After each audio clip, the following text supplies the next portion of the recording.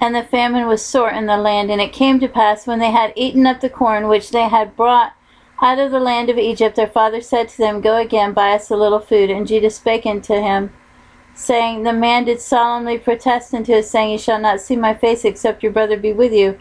If thou wilt send our brother with us, we will go down and buy thee food. But if thou wilt not send him, we will not go down. For the man said unto us, You shall not see my face, except your brother be with you.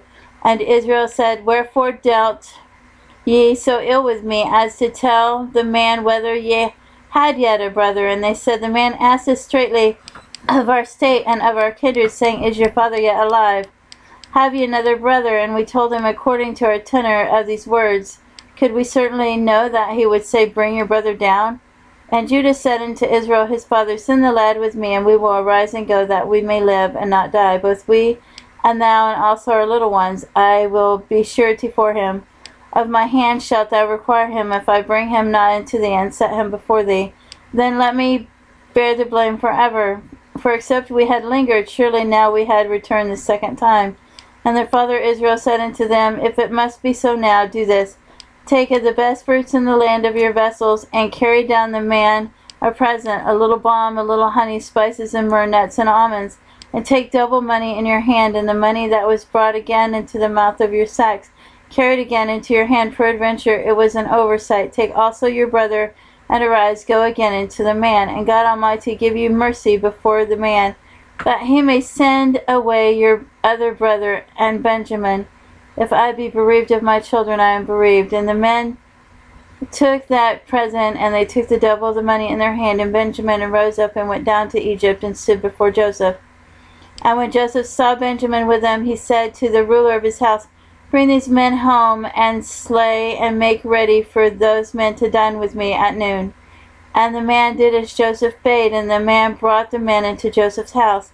And the men were afraid because they were brought into Joseph's house, and they said, Because of the money that was returned in our sacks at the first time are we brought in, that he may seek occasion against us and fall upon us, and take us for bondmen and our asses. And they came near to the steward of Joseph's house, and they communed with him at the door of the house, and said, O sir, we came indeed down at the first time to buy food, and it came to pass when we came to the end that we opened our sacks, and behold, Every man's money was in the mouth of his sack, our money in full weight.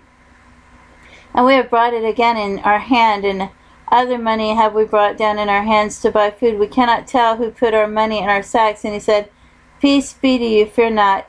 Your God and the God of your father hath given you treasure in your sacks. I had your money, and he bought he brought Simeon out unto them, and the man brought the men into Joseph's house and gave them water. And they washed their feet, and he gave their asses provender. And they made ready the present against Joseph came at noon. For they heard that they should eat bread there. And when Joseph came home, they brought him the present which was in their hand into the house, and bowed themselves to him to the earth. And he asked them of their welfare, and he said, Is your father well? The old man of whom you spake, is he yet alive? And they answered, Thy servant our father is in good health, he is yet alive. And they bowed down their heads and made obeisance. And he lifted up his eyes and saw his brother Benjamin, his mother's son, and he said, Is this your younger brother of whom you spake unto me? And he said, God be gracious unto thee, my son. And Joseph made haste, for his bowels did yearn upon his brother, and he sought where to weep, and he entered into his chamber and wept there, and he washed his face and went out and refrained himself, and said, Set on bread, and they set on for him by himself, and for them by themselves, and for the Egyptians which did eat with him by themselves, because the Egyptians might not eat bread with the Hebrews, for that is an abomination unto the Egyptians. And they sat before him, the firstborn according to his birthright, and the youngest according to his youth. And the men marveled one at another.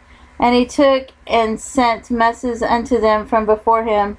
But Benjamin's mess was five times as much as any of theirs, and they drank and were merry with him.